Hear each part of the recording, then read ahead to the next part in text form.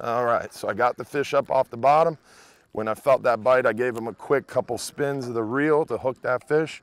Now I've got him hooked and I'm up off the bottom, so I'm just gonna finesse him. If he digs, I'm gonna let him dig and I'm just gonna slowly reel him up. So he's digging a little bit.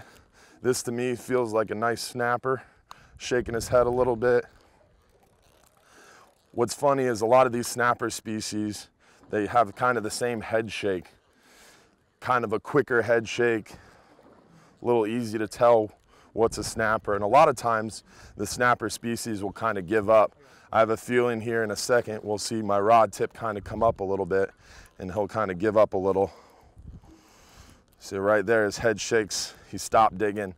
He's just kind of coming up smoothly now. So with these red snapper, trick to these guys, get them vented quickly. Uh, and you never want to poke or try to vent the fish in his stomach. You always want to try to vent the fish right where his fin kind of comes down. You can use the pectoral fin as a target. You just lift up the scale and puncture right in there through his swim bladder and you'll hear the air escape.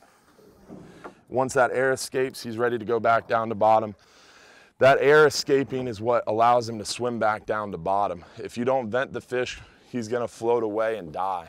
So it's very important that you vent the fish properly, get him back in the water quickly. That way he has a chance to go back down and live another day.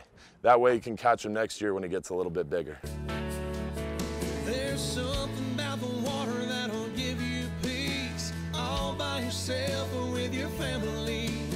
Live salt strong and wet a line today.